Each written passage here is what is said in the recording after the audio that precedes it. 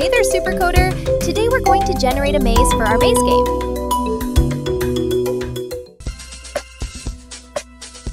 First, we need a sprite that will hold our maze logic. For that, I'll add an empty sprite. Just a small dot. Perfect. Now we need two sprites for our maze visuals. One for the wall, I'll pick this cactus. and one for the path. I'll use this cute little flower. All right.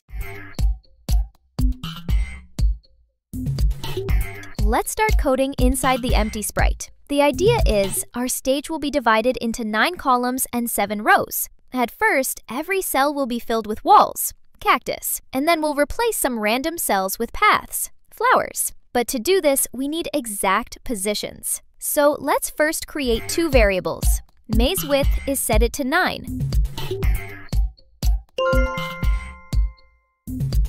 Maze height is set it to 7. Great!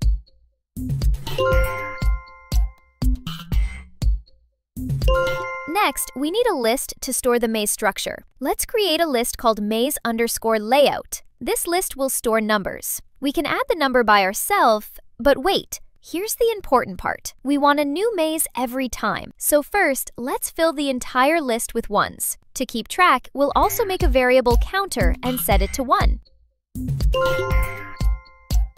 Now drag in the block Add 1 to Maze Layout. Click it. See, the first element is now 1. Click again. The second becomes 1. But doing this by hand for 63 cells? Nope. Let's automate. Since our maze is 9 by 7, that's 63 cells total. So let's add a repeat maze width times maze height block, and inside it add 1 to maze layout.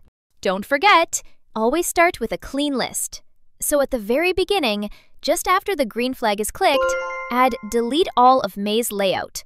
That way, we don't keep adding more than 63. Now let's test. Click the green flag.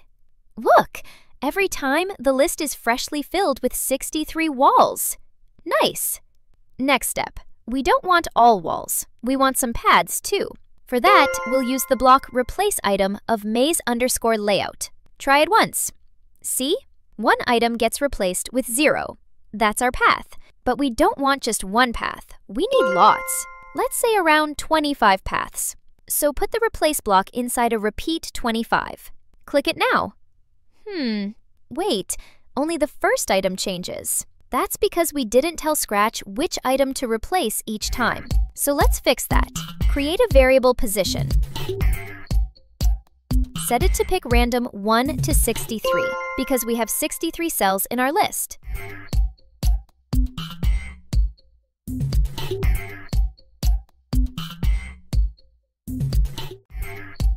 Now, inside the replace block, instead of replacing item 1, replace item position.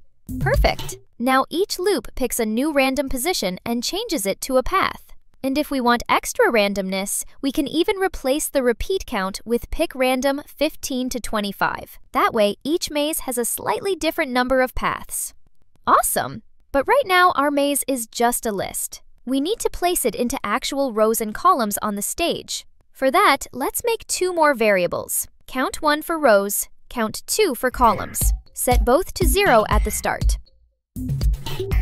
Let's plan. Row 1 will be like positions 0, 0, 0, 1, 2, 8. Row 2 will be 1, 0, 1, 1, and so on. So we need two loops. Outer loop will repeat until count 1 equals 7.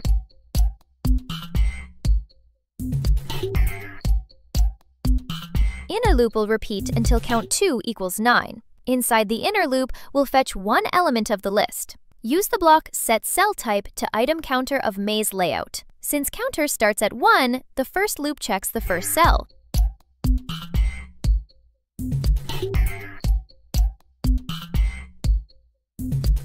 Now add a condition. If cell type equals 1, then create a clone of cactus.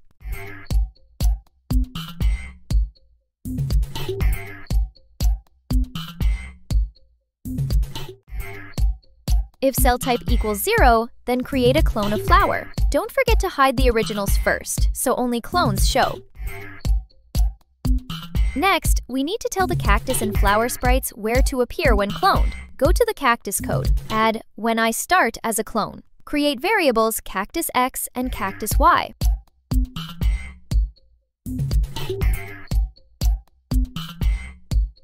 Set cactus X to negative 250 plus count 2 times 50.